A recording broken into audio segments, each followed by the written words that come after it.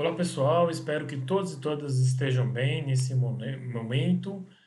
Nós estamos gravando esse vídeo, partilhando com vocês para que a gente possa dialogar a respeito de uma pesquisa que encontra-se em andamento junto ao programa de educação, programa de pós-graduação da Faculdade de Educação da Universidade de São Paulo. Bom, então é, a gente está interessado em falar a respeito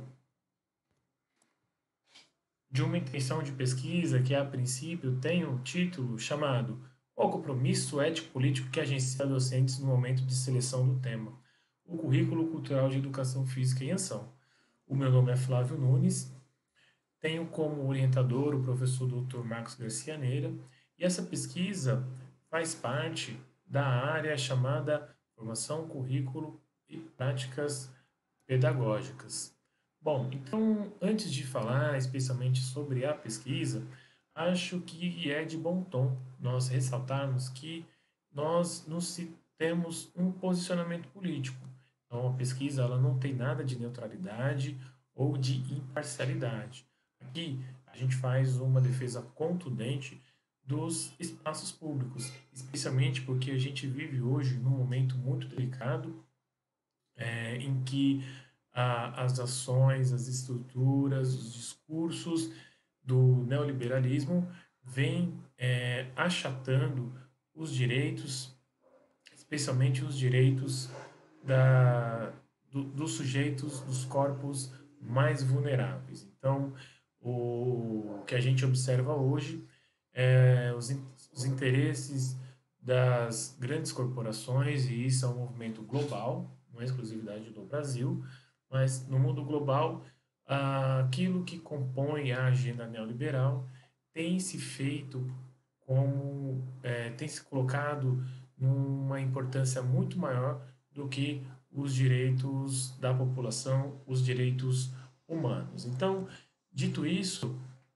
a gente recorda aqui aquilo que pesquisamos, aqui que produzimos no momento em que estávamos na pós-graduação fazendo o mestrado. Então, nós produzimos aí coletivamente uma dissertação cujo título é Subvertendo as Colonialidades, Vínculo Cultural da Educação Física e Anunciação dos Saberes Discentes. E foi o momento em que nós nos debruçamos sobre o processo de valorização e legitimação dos saberes discentes na prática pedagógica de professores que dizem colocar em ação o chamado currículo cultural de educação física. Então, com essa pesquisa, nós percebemos que os professores se permitem agenciar pelo princípio chamado favorecimento da iniciação dos saberes discentes.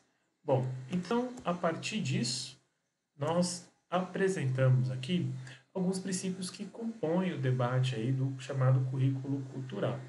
Então, rejeição do autorismo cultural, descolonização do currículo, ancoragem social dos conhecimentos, articulação com o projeto pedagógico da instituição, o reconhecimento do patrimônio cultural corporal, a justiça curricular e, por último, o favorecimento da iniciação dos saberes discentes. Aqui a gente não está apresentando por uma ordem é, de importância, mas uma construção didática aqui que a gente resolveu adotar, tudo bem? Então, na pesquisa promovida pelo professor Pedro Boneto em 2016, uma dissertação de mestrado, ele nos diz que, ao invés de serem vistos diretamente na escrita curricular, como se pensava, os princípios incidem nos professores, ou seja, influenciam, estão dentro do próprio professor que assume colocar em prática o currículo cultural. Estão rondando esse sujeito, que pensam em um deles.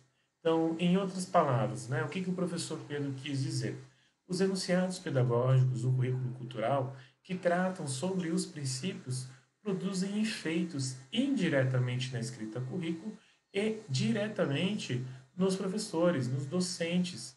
Então, são, ah, como diz o professor, transformações incorpóreas. Bom, Então, a nossa pesquisa, ela traz aí algumas indagações, quais sejam. Em que medida o princípio da justiça curricular produz ressonâncias sobre a prática pedagógica de docentes que assumem colocar em prática o currículo cultural de educação física? É possível pensar em alguma conexão entre a justiça curricular e o favorecimento da anunciação dos saberes docentes? Então, aqui é, já é um diálogo com o que nós produzimos na dissertação. Uma outra indagação é: quais forças atuam sobre o professor no momento de definição da prática corporal a ser tematizada? Então, aqui são indagações iniciais, pode ser que elas passem por alterações é, no decorrer, pode ser que a gente traga outras é, perguntas. Enfim, a pesquisa vai ser é, construída né, ao longo do seu próprio percurso não tem nada pré-definido, pré-estabelecido ou fixado de modo prévio. Tá? Então, a ideia de gravar este vídeo, de partilhar com vocês, é justamente proporcionar esse momento né, de construção da pesquisa e que, de repente, possa aí é, levá-la para um outro lugar, potencializá-la e ajudar aí no debate sobre a educação física na escola. Então, nós é, teremos aí como, né, nós vamos buscar aí a discussão em dois campos teóricos. O chamado pensamento decolonial, e o pensamento decolonial é uma produção política, epistemológica, teórica, aqui do nosso território latino-americano, e está sendo aí impulsionado pela rede, né, pelo grupo chamado Modernidade e Colonialidade. E a intenção é buscar intervir diretamente na discursividade das ciências humanas, para configurar outros espaços de produção do próprio conhecimento.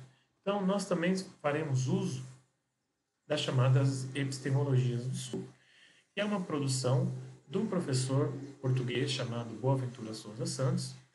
E as epistemologias do Sul tem como princípio a desfamiliarização das epistemologias situadas ao norte.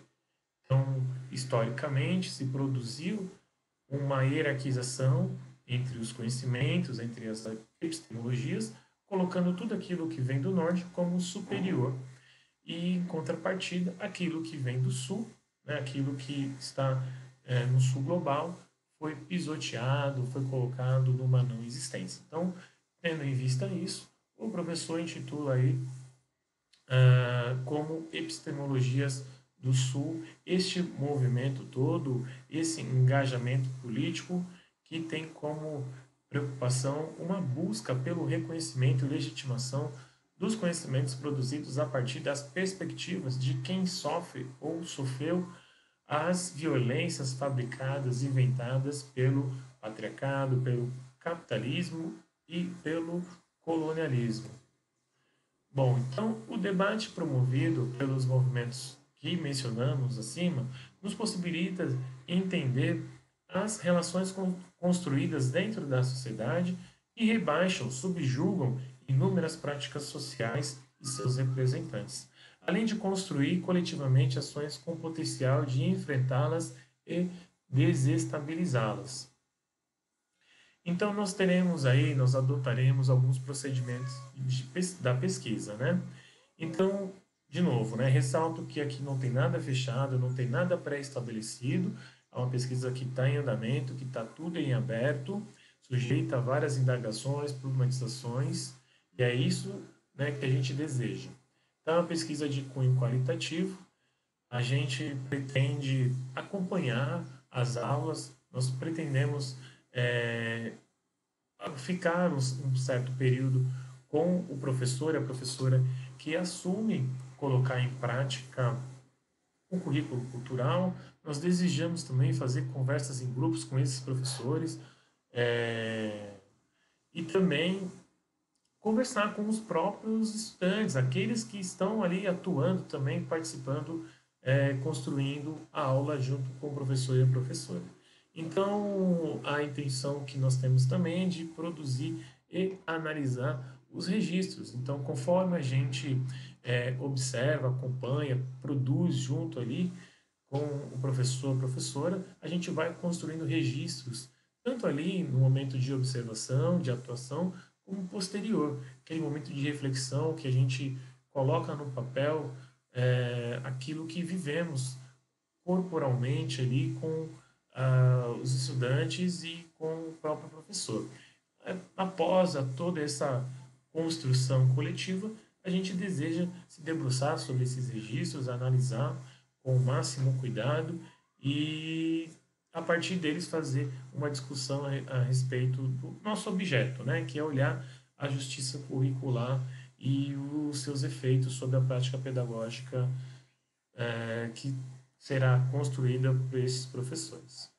Bom, então intenciona-se adotar uma posição de escuta, desvincular-se completamente de falar por ou sobre estudantes e os docentes.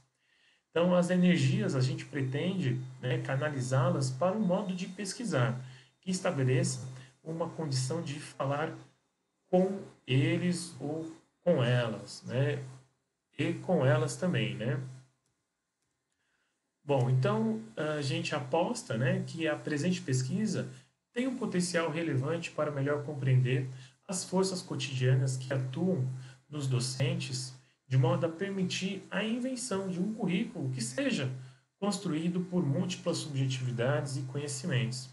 Então, refere-se a um gesto investigativo sintonizado a um projeto ético-político epistemológico de enfrentamento às desigualdades, à violência, à supressão da vida, às diferenças. Então, uma proposta de pesquisa que almeja contribuir positivamente para o debate do currículo cultural de educação física, bem como para uma prática pedagógica educacional atenta às diferenças, como eu já disse. Então, é, pessoal, eu né, partilho com vocês essa intenção de pesquisa e quero aqui, né, se você chegou até esse momento do vídeo, agradecer a assistência e peço para que vocês deixem um comentário aqui o que, sobre o que acharam, sugestões para pesquisa, dúvidas, questionamentos, porque assim a gente busca né, qualificar o debate é, e de repente contribuir para uma educação física cada vez mais sensível às diferenças. Valeu, um abraço e até a próxima.